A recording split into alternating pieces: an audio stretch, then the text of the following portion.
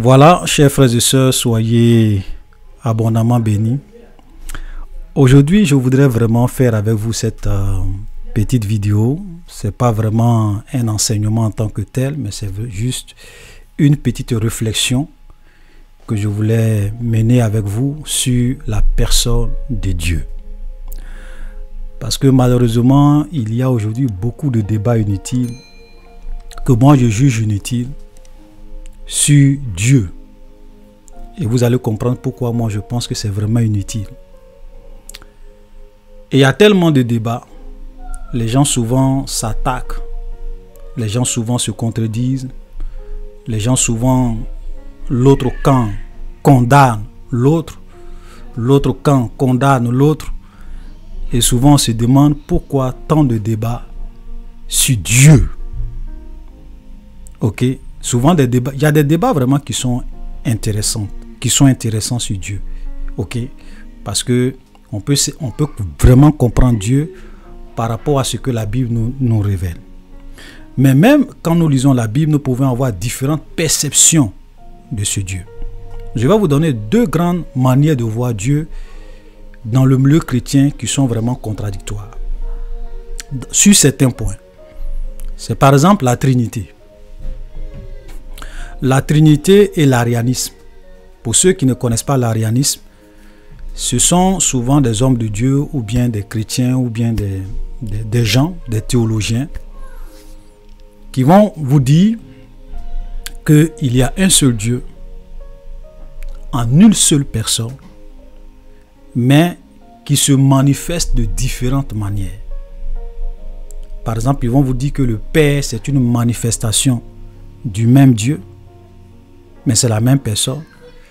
À un, à un, moment donné, tu as le Fils, ok, qui est aussi une manifestation du même Dieu à un autre moment donné.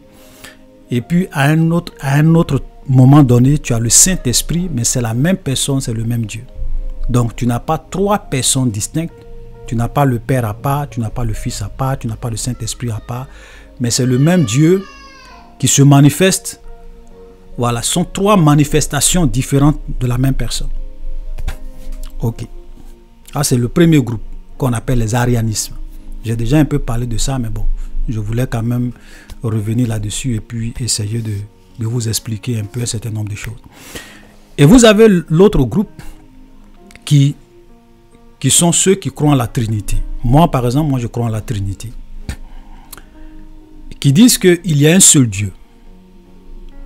Ceux qui croient en la Trinité ne vont jamais vous dire qu'ils croient en trois dieux. Ils disent qu'il y a un seul Dieu, mais qui, se manifeste en trois personnes distinctes.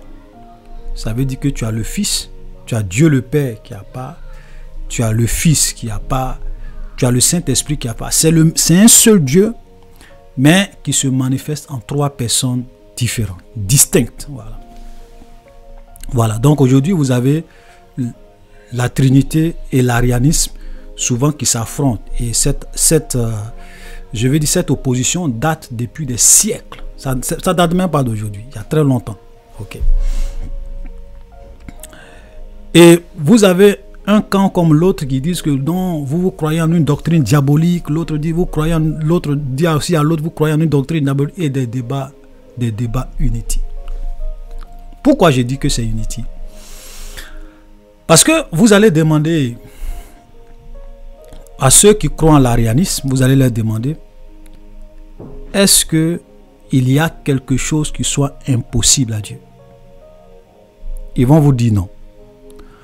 Vous allez demander aussi à ceux qui croient en la Trinité, est-ce que vous croyez qu'il y a quelque chose qui soit impossible à Dieu? Ils vont vous dire non. Mais bien sûr, quand on dit que rien n'est impossible à Dieu, on exclut le péché.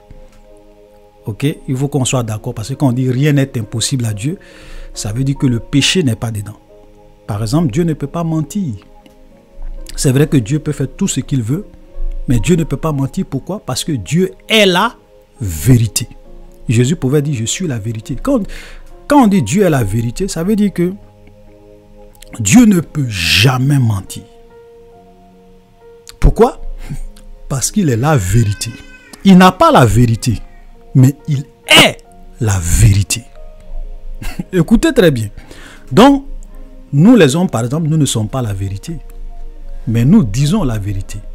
Nous faisons tout pour être dans le droit chemin, surtout, ceux qui croient en Dieu, qui veulent obéir à sa parole, doivent toujours avoir un langage de vérité. Donc, ils font, on fait l'effort de dire la vérité, mais nous ne sommes pas la vérité. Ok? C'est pour cela que souvent, des gens peuvent mentir parce qu'ils ne sont pas la vérité, mais Dieu étant la vérité, il ne peut pas mentir. Donc Dieu étant saint, il ne peut jamais pécher. Donc ça, ce n'est pas une incapacité, c'est sa nature. Dieu ne peut pas faire le mal, Dieu ne peut pas faire le péché. Donc quand on dit tout est possible à Dieu, le péché n'est pas dedans. Donc il faut qu'on soit clair sur ça. OK?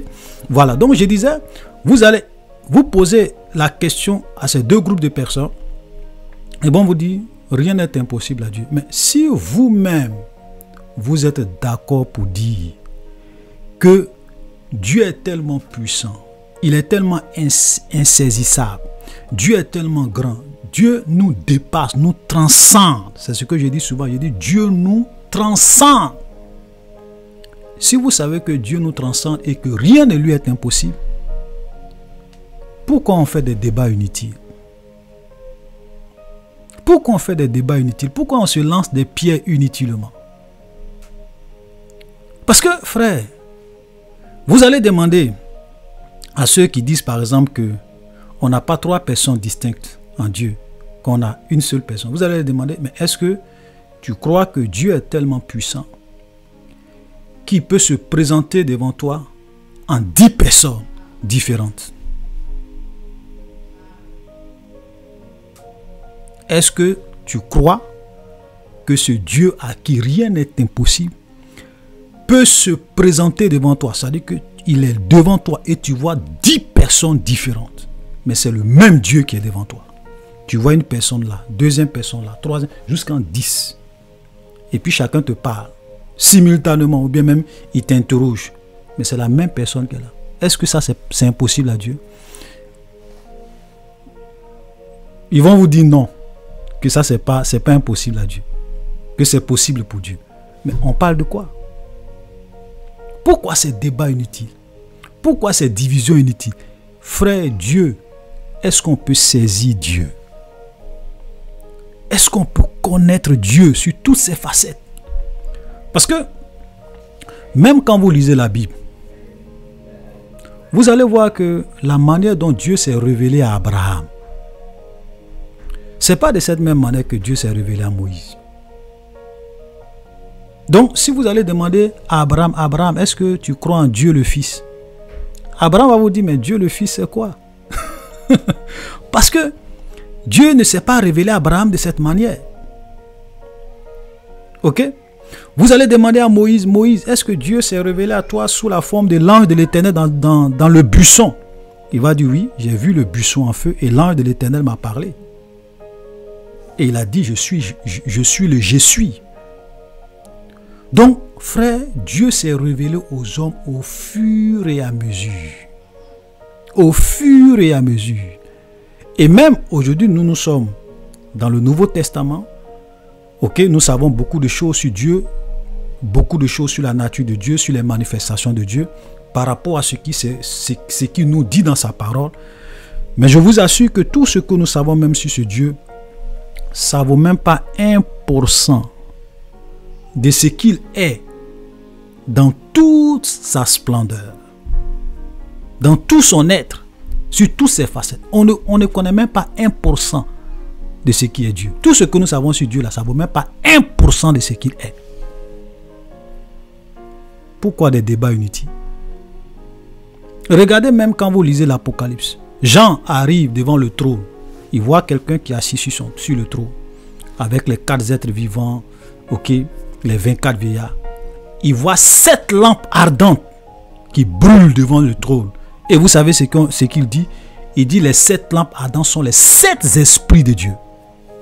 Donc Jean voit sept lampes. Il voit sept lampes devant lui qui sont les sept esprits de Dieu. Mais est-ce que ça veut dire que Dieu a sept esprits? C'est le même esprit qui sont là. sous la forme de sept lampes. Mais c'est le même esprit, frère. Pourtant, ce même Dieu, il, il était également assis sur le trône. C'est pour cela que souvent, frère, je dis, arrêtons de faire des débats inutiles sur Dieu. Parce que Dieu nous transcende. Arrêtons de nous jeter des pieds inutilement. Parce que Dieu nous dépasse. Vous allez faire ce débat-là. Et ce débat-là continue depuis des siècles. Qu'est-ce que ça a apporté? Rien. Voilà. Donc, moi, si un frère vient me dire, écoute frère, moi je crois en l'arianisme, un seul Dieu, une seule personne, trois, manifestations différentes. Je dis, ok, c'est ta perception de Dieu. Si quelqu'un aussi vient me dire, oui, moi je crois que Jésus est Dieu, le Saint-Esprit est Dieu, le Père est Dieu, c'est un seul Dieu, mais en trois personnes distinctes, je dis, ok, c'est ta perception de Dieu. Parce que quand tu lis la Bible, c'est la perception que tu as de Dieu. Quand l'autre aussi lit la Bible, c'est sa perception qu'il a de Dieu. Ok? Voilà. Donc, au début, je voulais souvent débattre, convaincre les gens, on veut expliquer. Mais frère, maintenant, moi, je ne discute plus de ces choses parce que je trouve que ce sont des débats inutiles. Ce sont des perceptions de Dieu. On saura toute la vérité lorsqu'on sera au ciel. voilà. Vous comprenez? On saura toute la vérité lorsque nous allons être au ciel. Le plus important pendant que nous sommes vivants cette terre, c'est de croire que le Père est Dieu. C'est de croire que le Fils Jésus est Dieu. C'est de croire que le Saint-Esprit est Dieu. Maintenant, est-ce que c'est trois personnes distinctes en un seul Dieu est-ce que c'est la même personne qui se manifeste en trois personnes? Ok Ou bien c'est la même personne, mais c'est trois manifestations différentes de la même personne? J'ai dit ça, ce sont des détails. Vous allez souvent même aller dans, dans des endroits, dans des villages, dans des campements, dans des petites villes. Vous avez des mamans, des papas qui ne savent pas forcément lire, qui ne savent pas forcément écrire, ou bien même s'ils savent lire et écrire, n'ont pas fait de longues études et ne sont pas forcément dans, nos débats théologiques. Vous allez leur demander, maman, tu crois, tu crois que qui est Jésus pour toi? Elle va te dire, oui, bon, moi je crois que Jésus est mon sauveur. Je crois qu'il est mort pour moi. Je crois qu'il est ressuscité. Je crois qu'il va revenir bientôt me chercher pour m'envoyer au paradis. Voilà. Je crois, il y a d'autres qui vont vous dire, oui, moi aussi je crois également, en plus de tout ça, je crois que Jésus est Dieu. Mais vous allez leur demander, maman, est-ce que pour toi, Dieu le Père, Dieu le Fils, Dieu le Saint-Esprit, c'est quoi? C'est trois personnes distinctes La maman va te dire, mon fils, moi je ne connais pas tout ça. Tout ce que je sais, c'est que Jésus est mon sauveur. Je fais ce que, ce que, ce que j'obéis à sa parole, je vis ma vie chrétienne, je veux vraiment, je crois en lui, je l'aime, je veux vraiment être avec lui elles ne sont pas dans vos, dans vos débats théologiques? Elles ne sont pas dans vos débats inutiles? Parce que la vie chrétienne, mon frère, ce n'est pas seulement une question de doctrine. C'est vrai, la doctrine, elle est importante. Ok? Je ne dis pas non. Mais je dis, ce n'est pas seulement une question de doctrine. Vous comprenez? Cette maman-là, elle, théologie, tout ça, elle ne connaît pas. Dieu le Père, Dieu le Fils, l'arianisme, Trinité. Elle ne connaît pas tout ça. Mais elle vit sa foi. Et Dieu l'agrée et Dieu l'apprécie. Peut-être qu'il y a des détails qu'elle ne sait pas sur Dieu. Le jour qu'elle va mourir, qu'elle va aller au ciel, Dieu va la féliciter et elle va connaître des vérités qu'elle n'a pas pu connaître sur cette terre. Voilà la vérité, frère. Donc arrêtons de nous lancer dans des débats inutiles. Et une fois, quand j'étais en train de parler de... Quand j'étais en train de faire l'étude sur la Trinité dans l'une de mes vidéos, j'ai dit ceci, j'ai dit, frère, le diable, il connaît toutes les bonnes doctrines de la Bible. La doctrine de Satan est une doctrine correcte. Parce que Satan connaît la vérité. Lui-même, il était avec Dieu. Il sait qui est exactement Dieu. Ok? Voilà, dans une certaine mesure. Et Satan connaît la Bible. Il a même cité des versets de la Bible à Jésus quand il est venu le tenter. Mais malgré que la doctrine du diable soit correcte, est-ce que quand le diable va mourir, il va aller au paradis? Non. Je ne dis pas que la doctrine n'est pas importante dans le salut. Ok? C'est pas ce que j'ai dire. Mais je vais dire, tu peux avoir toute ta doctrine correcte et puis mourir et puis aller à l'enfer. La doctrine en elle seule ne sauve pas. Parce que la vie chrétienne, c'est une vie. C'est pas la théologie. Voilà. Donc, soyons. J'ai voulu faire cette réflexion avec vous pour ne pas que, frère, nous nous lançons dans des débats inutiles. Parce qu'aujourd'hui, il y a trop de confusion dans l'Église. Il y a trop de débats inutiles dans le milieu chrétien. Les gens s'attaquent, ils s'entre-attaquent. L'autre attaque, l'autre attaque, l'autre traite l'autre de diabolique, l'autre traite l'autre de satanique. L'autre dit non, vous mourrez, vous allez aller à l'enfer. L'autre dit toi aussi tu vas mourir, tu vas aller à l'enfer. Pourquoi tous ces débats? Voilà. Moi je dis Dieu, il nous transcende. On ne peut pas le saisir. Dieu nous dépasse. On peut avoir des perceptions différentes de Dieu qui n'a pas forcément d'incidence sur notre, foi.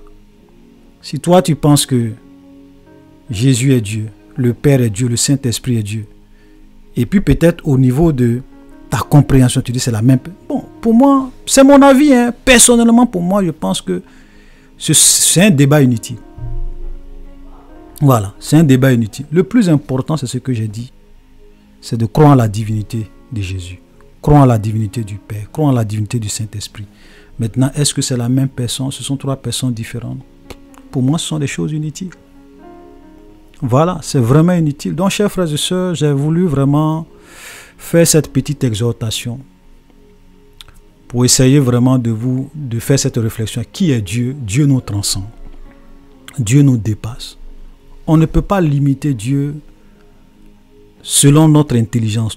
L'erreur que beaucoup de personnes font, et même souvent vous voyez ça avec les musulmans, c'est qu'ils veulent limiter Dieu. Vous demandez par exemple à un musulman, il va te dire non, Dieu ne peut pas venir dans sa création. C'est-à-dire Dieu ne peut pas prendre une forme humaine et puis venir dans sa création. Pourtant, les anges qui sont pur esprit peuvent se matérialiser, peuvent prendre une forme humaine et venir devant les hommes. Mais Dieu qui est tout puissant, lui, ne peut pas faire. Ça, c'est chez les musulmans. Vous voyez Parce que les gens sont toujours, ils veulent toujours réfléchir, ils veulent toujours ramener Dieu à leur intelligence humaine. Ils veulent saisir Dieu selon leur intelligence. Parce que l'homme a cette, fâcheuse tendance à vouloir toujours ramener tout à, sa nature, à sa compréhension, à sa façon de voir les choses pour pouvoir saisir Dieu. Et c'est là que beaucoup de personnes font erreur. Dieu, Dieu nous transcende. Quelqu'un qui a créé toutes choses, quelqu'un qui a créé l'homme, quelqu'un à qui rien n'est impossible. Comment toi, en tant qu'un être humain, toi-même tu dis que rien de lui est impossible, mais pourquoi tu veux le limiter? Dieu est capable de faire ce qu'il veut. Des choses qui nous transcendent, qui nous dépassent. Voilà. C'est comme cela que vous voyez souvent des gens qui vont vous dire oui, mais est-ce que quand on, aura, quand on ira au ciel, est-ce qu'on va avoir trois trônes? Le trône du Père, le trône du Fils, le trône du Saint-Esprit. Souvent, ça me fait rire. Et, quand je faisais l'étude sur l'Apocalypse, j'ai dit que le jour que quelqu'un vous pose cette question, dites-lui, de façon ironique, dites-lui que le trône de Dieu, c'est pas un fauteuil présidentiel.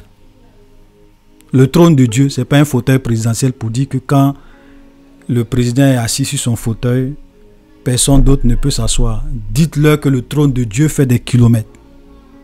Le trône de Dieu fait des kilomètres. voilà, j'ai dit ça juste parce que pour choquer un peu euh, les, raisonneurs. Voilà, parce qu'il y a des gens qui veulent toujours raisonner. Ils pensent que le trône de Dieu, c'est un fauteuil présidentiel. Voilà. Si quand il est assis, la personne d'autre ne peut s'asseoir. Tout ça, c'est charnel.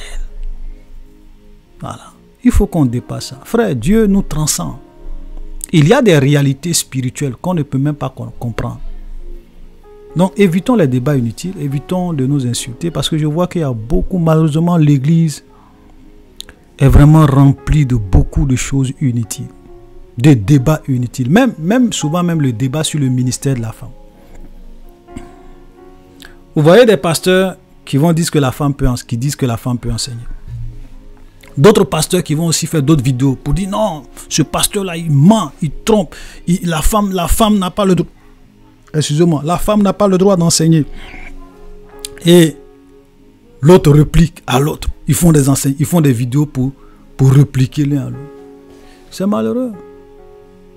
Pourquoi nous les chrétiens on est tant divisés, on fait des débats inutiles?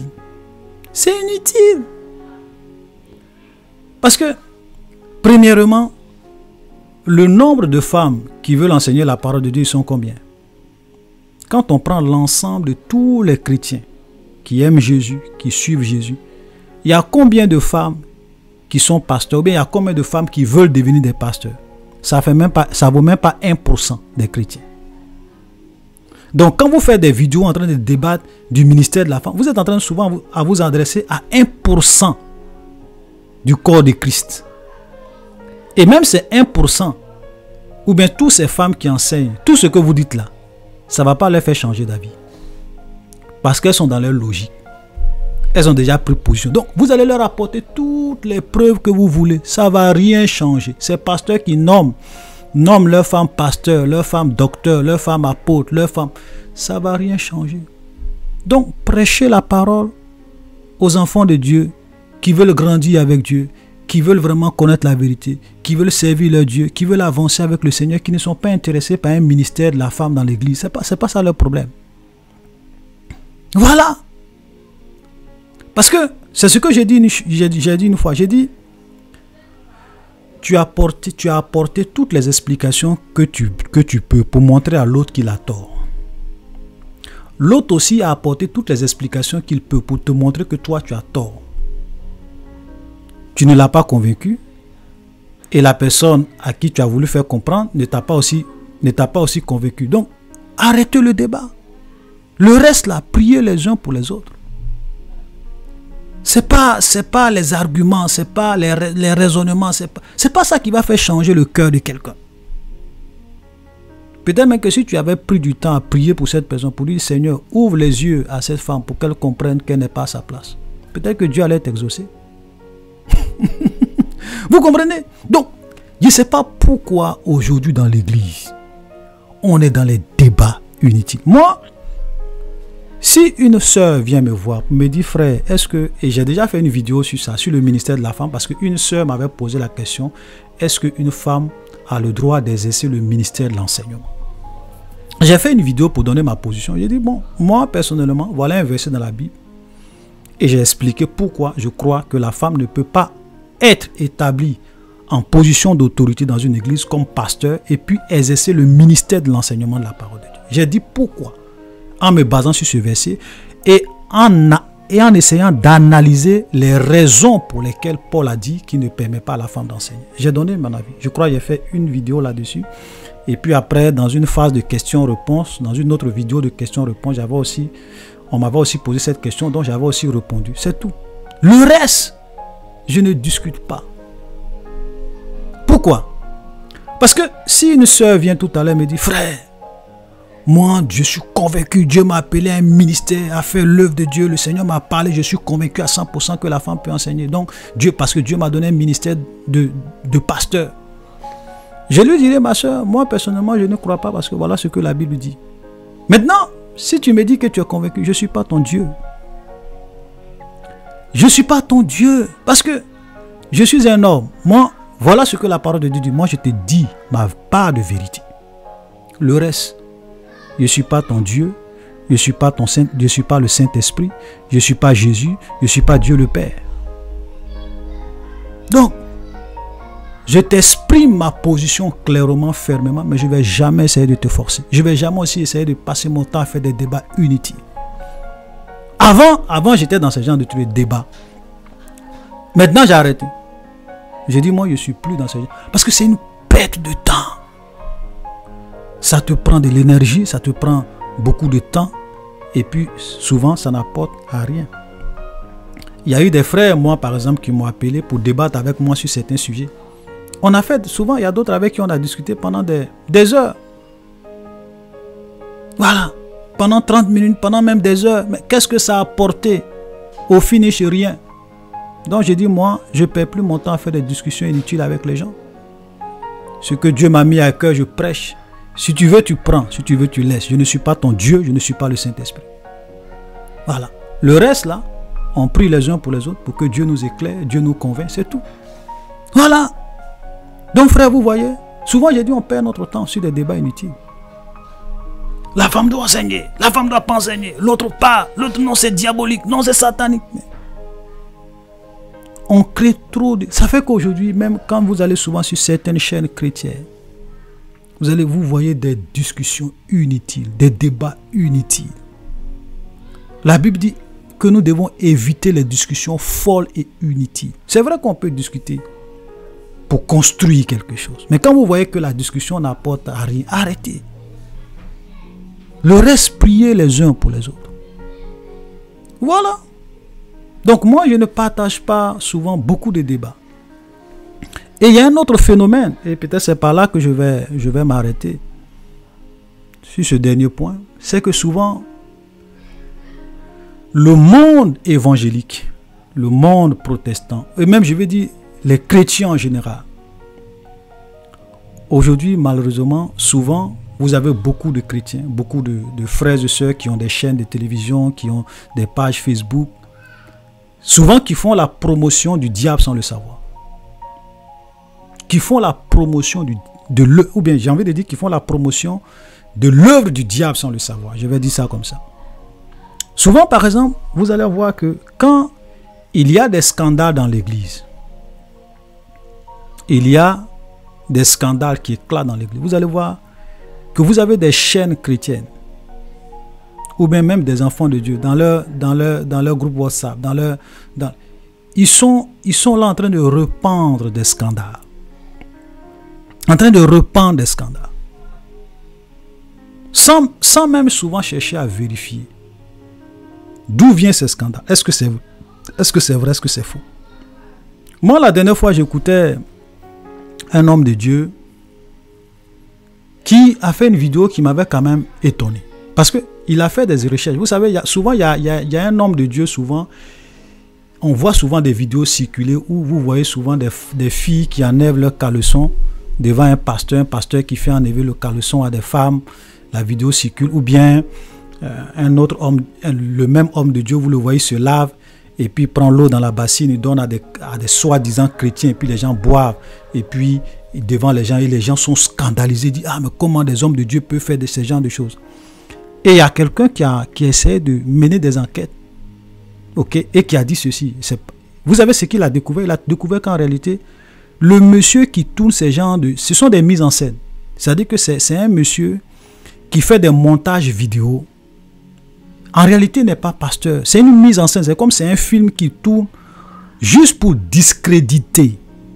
Parce que lui, lui, il a essayé de, vérifier pour voir est-ce c'est vraiment des pasteurs. Il s'est rendu compte qu'en fait, ce monsieur-là n'a jamais été un pasteur.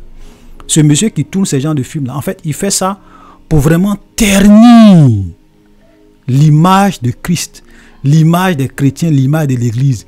Et ce qui est bizarre, c'est que les chrétiens croient que oui, ce c'est un vrai pasteur, c'est un pasteur qui fait ça. Et ils font la promotion, ils sont scandalisés. Et quand j'ai vu ça, j'ai dit, waouh!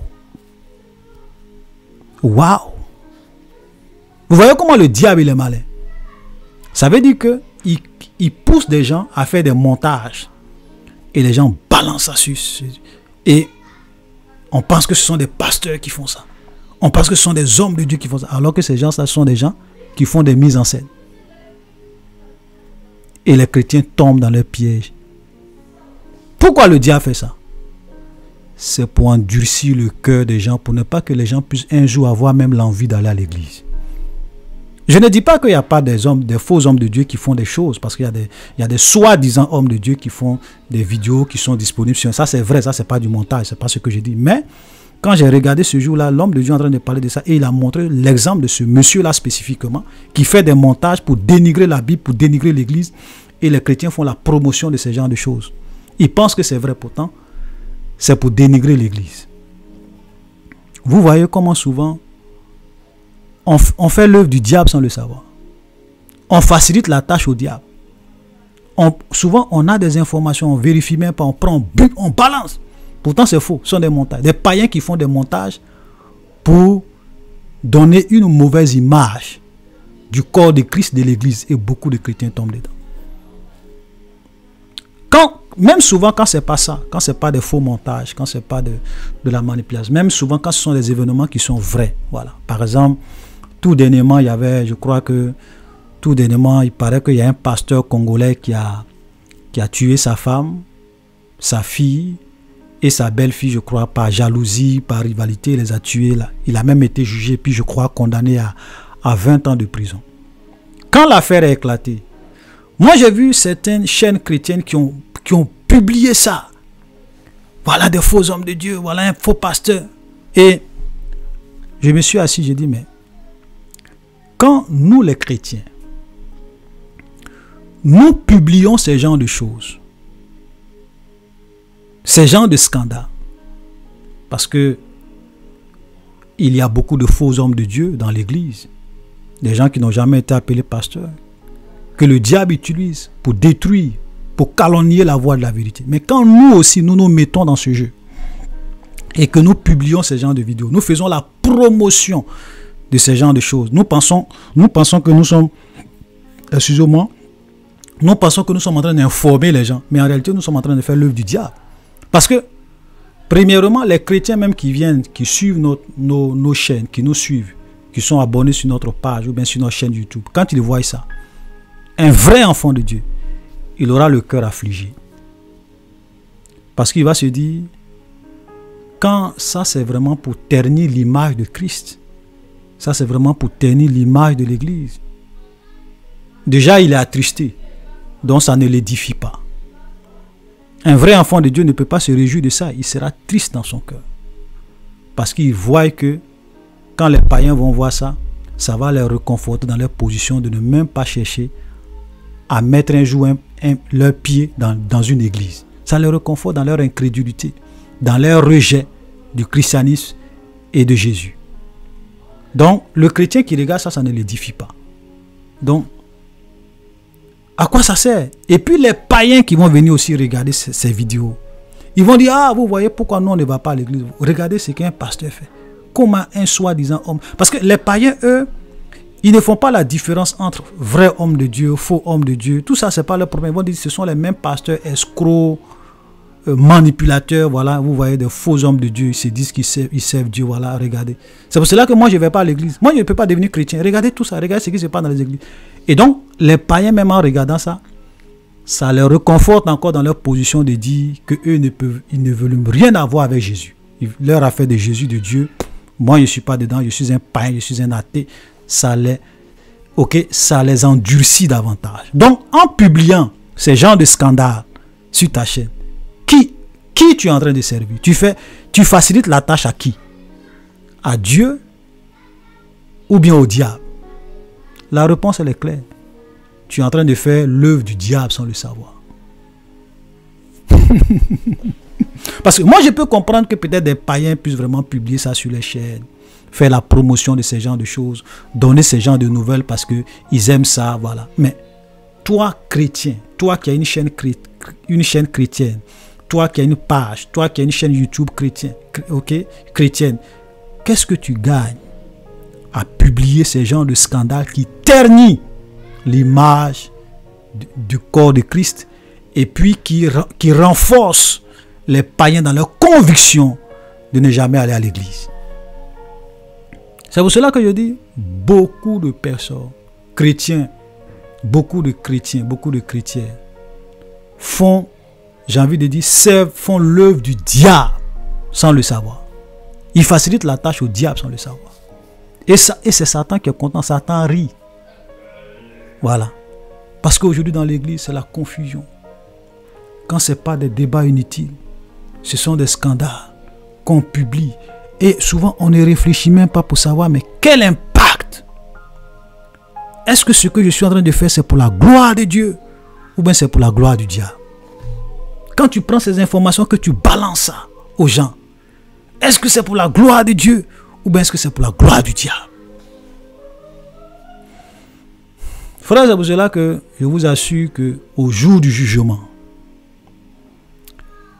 il y a des gens qui vont avoir des surprises. Des surprises. Donc frère, faites beaucoup attention. Moi, personnellement, moi j'ai décidé de ne plus jamais me mêler de ce genre de choses. Ces genres de débats où on va venir s'entre-déchirer, faire des débats inutiles, promouvoir les scandales dans les églises.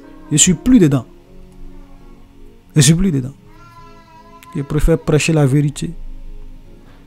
Éviter les débats inutiles. Dire ce qui est correct. Celui qui veut, il prend. Celui qui veut, il laisse. Parce que la vie, c'est une question de choix. Et moi, j'ai toujours, j'ai dit, vous savez, Dieu, il n'y a pas quelqu'un qui est plus puissant que Dieu.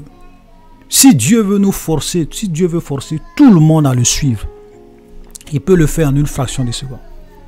Mais Dieu ne le fait pas. Pourquoi? Parce que Dieu respecte la liberté de l'homme. Dieu ne force personne.